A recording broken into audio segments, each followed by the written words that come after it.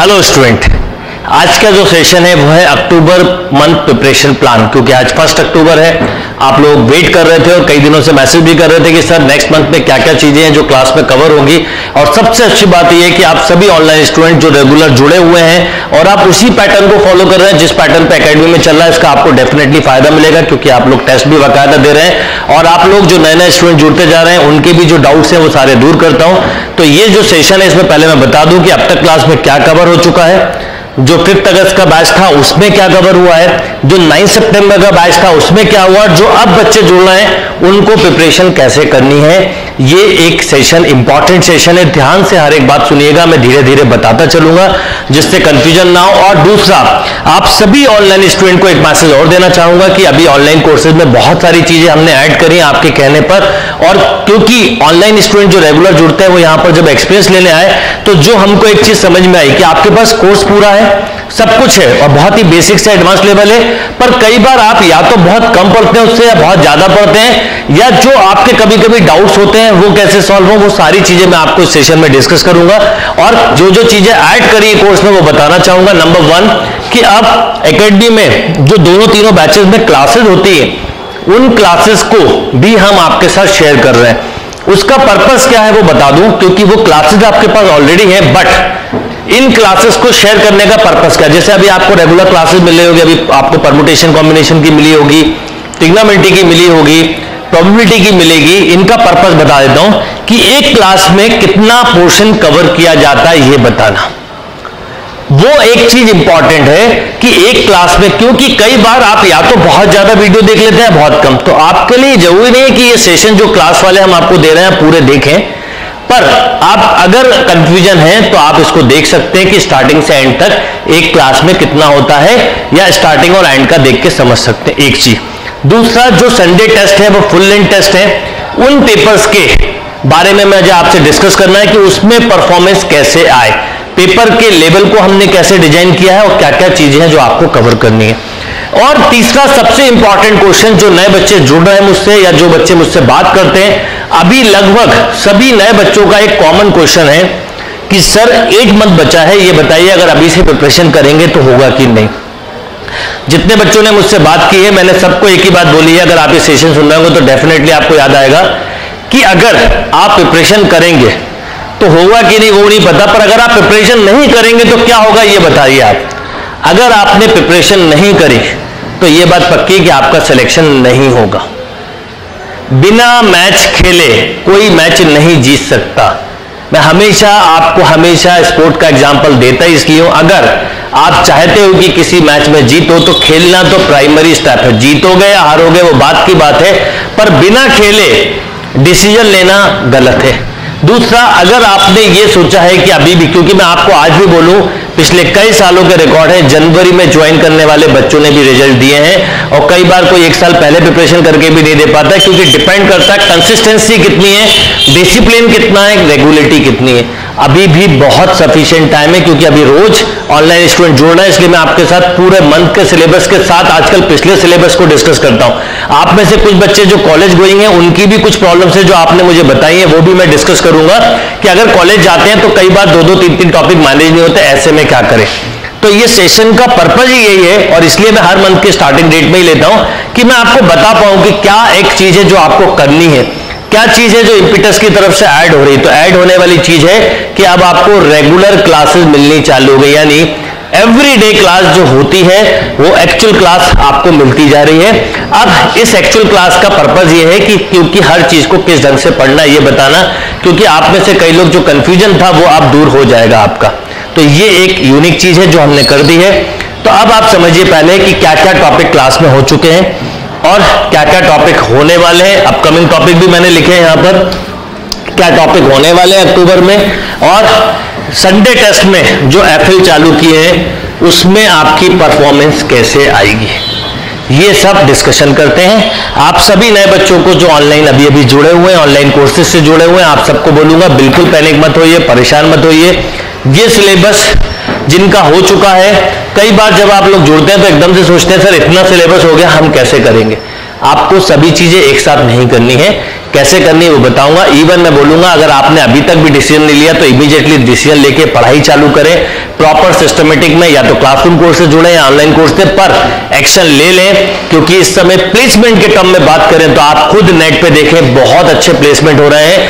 किसी भी एनआईटी से इस समय 20 20 25 25 लाख के एक एक दो दो नहीं आठ आठ दस दस स्टूडेंट को पैकेज मिला है। इस समय त्रिची में मोर देन 15 20 स्टूडेंट ऐसे जिनको 30 लैक्स के ऊपर पैकेज मिला ये न्यूज़ आप खुद देख सकते हैं। ये बहुत अच्छा टाइम है।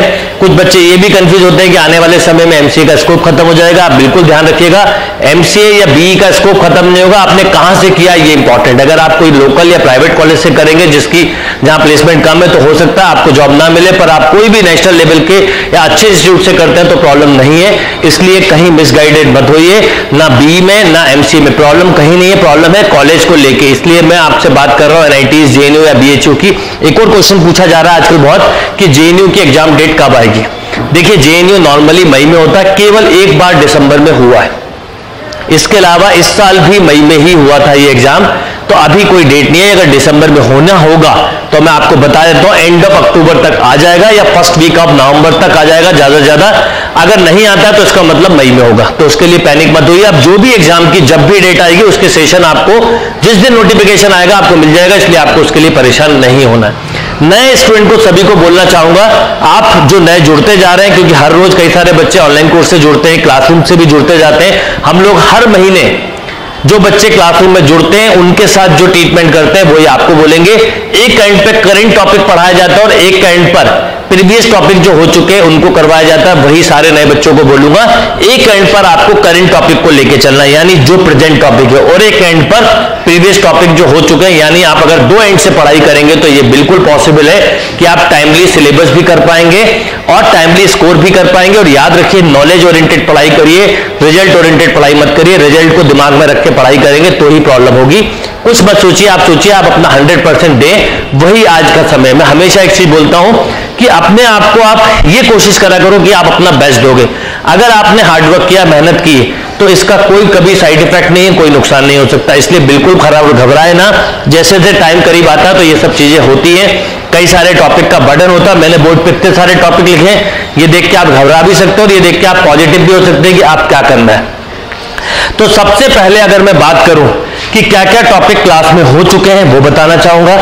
क्या हो रहे हैं, चल रहे हैं और क्या होंगे अक्टूबर मंथ में वो बताऊँगा, कैसे पढ़ना है वो बताऊँगा तो आप उसको ध्यान से सुनिए। नंबर वन कि एलजेबरा में set quadratic equation binomial theorem permutation combination matrices and determinant probability complete हो चुका है। Trigonometric ratio trigonometric identities trigonometric equation ये कंप्लीट हो चुका है। Modulus function inequation logarithmic log and expo ये कवर हो चुका है।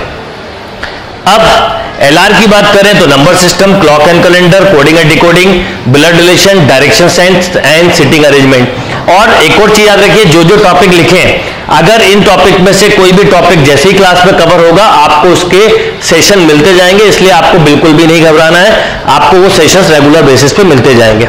क्योंकि जो आपको पेपर्स आते हैं, उसी के साथ इन टॉपिक्स के लिंक्स भी आपको मिलते हैं तो आपको वो सोचना नहीं है। अब क्या क्या होने वाला है? Property of triangle and solution of triangle inverse trigonometric function अक्टूबर की बात कर रहा हूँ। Function limit continuity and differentiability differentiation यानी बेसिकली ट्रिग्नोमेट्री इस मंथ में एंड होगी और कैलकुलस इस मंथ में स्टार्ट होगा। अब एक चीज़ और बताना चाहता हूँ कि जो काम हम क्लास में करते हैं, वही चीज़ आपको घर रह के करनी है। वही कोर्स है, वही सारी चीज़ें, इसलिए आपको परेशान नहीं होना है। क्या क्या चीज़ें ध्यान रखनी? नंबर वन जैसे टिग्नामेंट्री में यहाँ बच्चों पे परफॉर्मेंस नहीं आ रही थी। टिग्नामेंट्री एक ऐसा टॉपिक है जिसका, क्योंकि बाकी एल्जेब्रिक टॉपिक आप कहीं ना कहीं पढ़ते रहते हैं, पर ट्रिग्नोमेट्रिक कम पढ़ते हैं हम इलेवंथ के बाद या ट्वेल्थ के बाद तो ऐसे में ट्रिग्नोमेट्रिक में परफॉर्मेंस नहीं आ रही थी, इसलिए जो चीज़ें पढ़ाई गई थी ट्रिग्नोमेट्रिक रेशियो ट्रिग्नोमेट्रिक आइडेंटिटी और ट्रिग्नोमेट्रिक इक्वेशन ये दोबारा पढ़ाया जा रहा है। इसलिए आप लोग जब मैसेज करके पूछते थे कि अभी करंट टॉपिक क्या चल रहा है तो मैं फिर से वही लिखता था ट्रिग्नामेंट्री उसका रीजन बताना चाहूँगा, इसलिए सेशन भी बता रहा हूँ कि जो टॉपिक में परफॉर्मेंस नहीं आ रही तो इसका एक सेंस निकलता है कि आप भी अगर किसी टॉपिक में परफॉर्म नहीं कर पा रहे तो घबराए ना, पहले उस टॉपिक पे धीरे धीरे कमांड बनाए। टिग्नामेंट्री को उतना डिटेल में पढ़ाने का पर्पज है कैलकुलस पे कमांड के लिए टिग्नामेंट्रिक का आना ज़रूरी है। तो ये एक चीज़ याद रखें। अब मैं आपको बताना चाहूँगा कि जो नए स्टूडेंट है, उनको जो नए स्टूडेंट जुड़ते जाते हैं, जिनसे मेरी बात होती है, मैं उनको बोलता हूँ टिग्नामेट्रिक स्टार्ट कर दो टिग्नामेट्रिक स्टार्ट करने के साथ एक एंड पर ट्राई करो। देखो, आप कहने को हमारे पास एट मंथ है। अब जो पुराने बच्चे हैं, मैं उनसे बोलता हूँ फोर टू फाइव आर पढ़ो। नए को बोलूँगा सिक्स टू सेवन आर पढ़ो तो एट मंथ ट्वेल्व मंथ के बराबर हो जाएँगे। और कॉलेज गोइंग के लिए बात कर रहा हूँ। जिनका कॉलेज हो चुका है कंप्लीट उनके पास तो पंद्रह घंटे पढ़ने के लिए, उनको तो सोचना ही नहीं है। पर जिनका कॉलेज अभी जा रहे हैं, वो भी चार घंटे तो कॉलेज के साथ टाइम निकाल सकते हैं। दूसरा, अक्टूबर मंथ में बहुत सारे फेस्टिवल्स होते हैं। जैसे अब कल गांधी जयंती की छुट्टी है, फिर दशहरे की है, दिवाली की आएँगी कॉलेज में बच्चे कम होते हैं आउटसाइडर्स बच्चे चले जाते हैं। इस मंथ में जितना हो सके उतना कवर करने की कोशिश करिए, आपको उसका एडवांटेज मिलेगा। तो आप सब लोगों को क्या करना समझिए। जो मैंने अभी फिर बोला, फिर बता रहा हूँ कि यहाँ पर हम हर महीने करेंट टॉपिक के साथ बच्चे को जोड़ते हैं और दूसरे एंड पर एक अलग से क्लास लेके पुराने टॉपिक धीरे धीरे एल्जेब्रा के कवर करते हैं, वही चीज़ आपको करनी है। आप सभी को करना ये चाहिए कि टिग्नामेट्री पढ़ना चालू करना चाहिए, पहले function trigonometry ratio trigonometric identity trigonometry equation और दूसरे एंड पर जैसे सेट फिर quantity equation binomial theorem matrices determinant PNC बाद में कर सकते हैं। पीएनसी जैसे अभी क्लास में पीएनसी चल रहा है प्रोबेबिलिटी ऐसे एक एक करके। फिर हफ़्ते में चार दिन ये पढ़े दूसरे एंड पे और दो दिन हफ़्ते में इन टॉपिक्स के सेशन जो देखें आपने, इनको करें। इस तरह से छह दिन में चार दिन मैथ्स और दो दिन रीजनिंग को दीजिए ये छह दिन और छह के छह दिन करेंट टॉपिक पे पढ़िए, जिससे कि आपकी परफॉर्मेंस निकल के आए, आप रिज़ल्ट दे पाओ। आप सभी टॉपिक को एक साथ करने की कोशिश बिल्कुल ना करें। एवरी संडे जो टेस्ट देते हैं टेस्ट दो घंटे में ही दीजिए और संडे टेस्ट का पूरा डिटेल एनालिसिस करिए।